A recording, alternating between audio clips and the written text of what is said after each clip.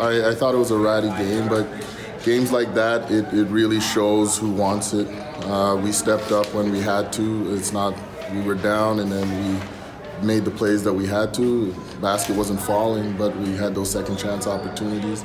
And then, uh, and then he made the difference in the end. AJ did a fantastic job. He made big plays for us. He grabbed 12 boards, six offensive boards. Uh, five of those were definitely big plays for us to, to kind of change the tempo of the game. Um, yeah, he's a workhorse, and he's definitely uh, he's, he's, playing playing extremely well. Um, I feel like we did pretty good at the end. Um, came together as a team. We had a like it's a game of runs, and our team came together and um, battled through what we was going through with um, on defense and on offense.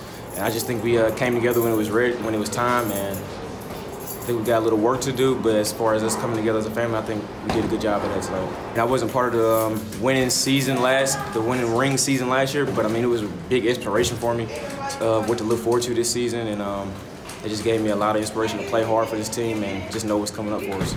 It's the first game, first game of the season. Uh, we have 39 more.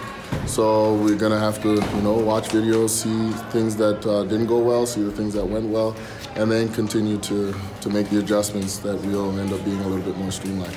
I think early, in the first few games of the season, you're still trying to feel out each other, you're trying to feel out the team, you're trying to trying to do a whole bunch of different things, and uh, so that's where we're at right now.